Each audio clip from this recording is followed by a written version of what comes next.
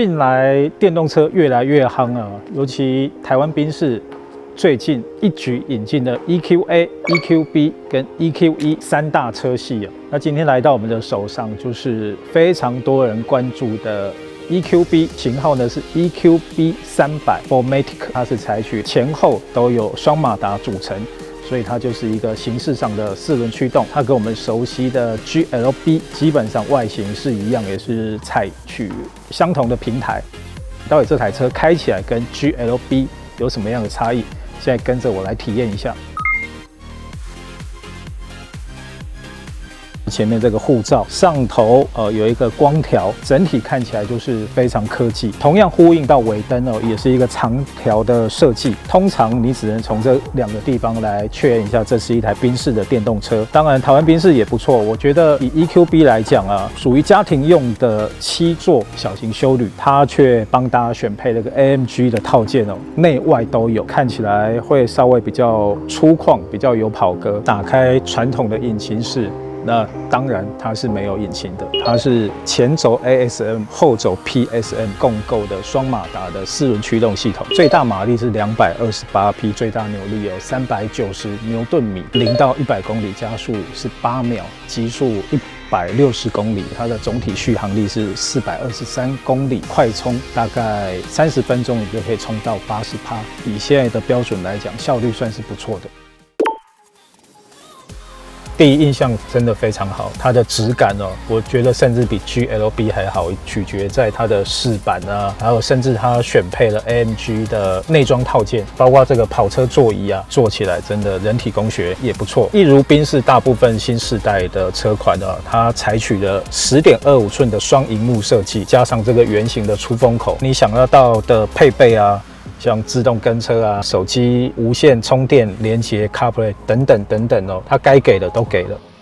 一如宾士的电动车啊，它这个拨片是一个动能回充的效果。低就是标准的模式，你想要有一点拖行的感觉，就用低减；想要一点滑行，就是用低加。如果你觉得麻烦，切低 Auto 就好了。一共有四种模式可以选。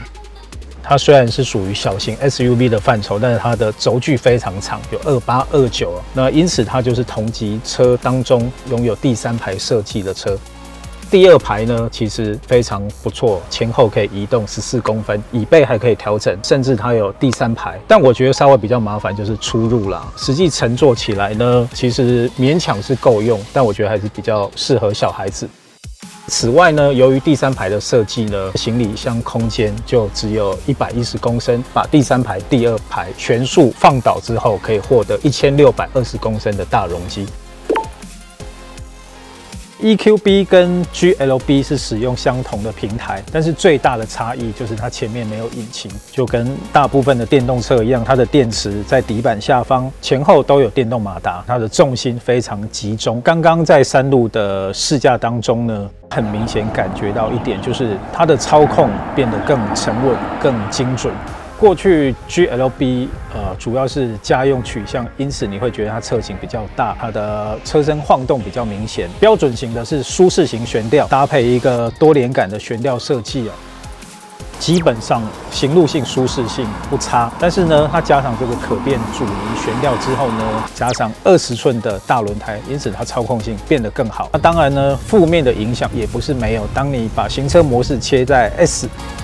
经过不平路面的时候，它的呃碎震啊，它的弹跳感还是有，隔音算是做的不错，但是路面的这种路噪啊，回馈感还是稍稍明显一点。EQB 呢，其实它的车重也不轻，重达两吨多，但由于电动车使然，所以它的马力跟扭力，尤其扭力非常的充裕，加速也是随传随到，非常快。